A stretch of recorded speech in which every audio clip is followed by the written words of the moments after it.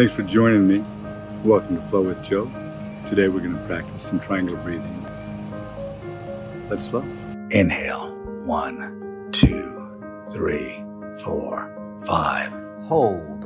One, two, three, four, five. Exhale. Five, four, three, two, one. Inhale.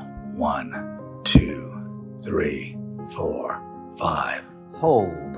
One, two, three, four, five. Exhale. Five, four, three, two, one. Inhale. One, two, three, four, five. Hold. One, two, three, four, five. Exhale. Five, four, three, two, one. Inhale. One, three, four, five. Hold. One, two, three, four, five. Exhale. Five, four, three, two, one. Go ahead and breathe normally. See you next time on Flow with Joe.